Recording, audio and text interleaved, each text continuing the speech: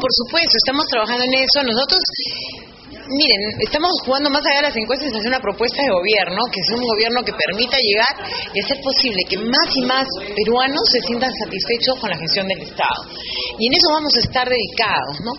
Hacer posible que la ama de casa se sienta satisfecha con que hoy día los derechos del consumidor sean bien representados. Por ejemplo, eh, solo para mencionar un caso del día a día, o sea, le vamos a impedir de verdad al Indecopi y al Ministerio de Agricultura de que tomen cartas en el asunto del arroz. No puede ser posible que algunas molineras coludan y comiencen a incrementar el precio injustificadamente.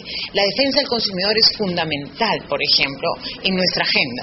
Lo mismo en lo que es tareas que tenemos que hacer, como las que hemos conversado hoy día.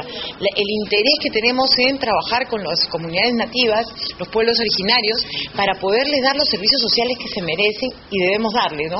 Articular bien la política educativa, la política de salud, la política de lucha contra la desnutrición infantil, para poder llegar a atender esas necesidades o temas como la trata de personas o la trata de niños y adolescentes, que son temas que son flagelos y que nosotros no vamos a aceptar, vamos a luchar fuertemente contra esos temas.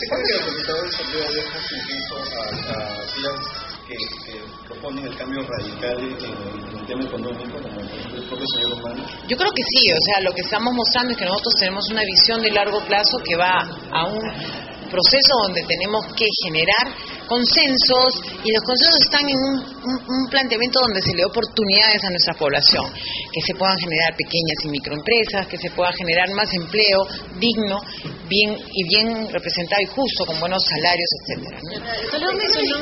¿Cuándo se va a definir la, cancha la va a acompañar usted? Ese es un tema a discutir todavía, ese no es un tema inmediato. Ahorita estamos trabajando con mucho énfasis en lo que es el plan de gobierno, articulando los equipos, las articulaciones con los gobiernos, eh, mejor dicho, con los movimientos regionales que se van a sumar, los movimientos nacionales que se van a sumar. Y bueno, ya el lanzamiento de la candidatura formalmente, que sería el 28, comenzará ya de, a partir de ahí el debate de qué tipo de personas van a acompañarnos en la vicepresidencia, pero creo que no es un tema que tenga que resolverse en este momento. Enrique Cornejo está trabajando también en el equipo, pero digamos, él estamos armando equipos en conjunto donde él trabaja en la materia desde la Partido Prista. O sea, él, él, está convocando a los equipos técnicos del, del Partido Prista, yo estoy convocando con Chela, y Chela es la que está convocando a los independientes. ¿Qué opina de la evaluación del señor Toledo en las encuestas? Ha subido como seis bueno, ha hecho una gran campaña ¿no? de, de, entrada y lo felicito. De, ha entrado fuertemente con publicidad, con un esfuerzo interesante de, de, entrada y viene con una campaña que viene de atrás. O sea, hay que reconocer también que hay un trabajo previo de largo plazo que ha venido desarrollándose. Bueno, pues esos son los resultados de las campañas. Todos nosotros no hemos empezado campaña todavía. Una gran inversión económica publicitaria. Sí, claro.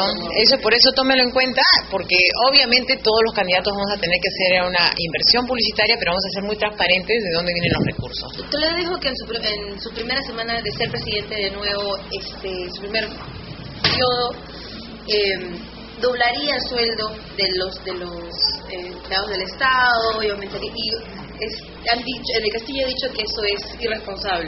Yo creo que sí, un poquito irresponsable decir voy a aumentar los sueldos así, de esa manera. Yo creo que sí hay que incrementar las remuneraciones de los funcionarios públicos, pero siempre teniendo claro cuál es la carrera pública comenzar a desarrollar realmente un sistema de méritos y de premios a nuestros funcionarios que hacen una muy buena labor, es una labor muy sacrificada, y, y trabajar en la meritocracia de la carrera pública. Entonces sí vamos a hablar de mejoras salariales, pero que van a estar ligadas a estos incentivos a su buena gestión.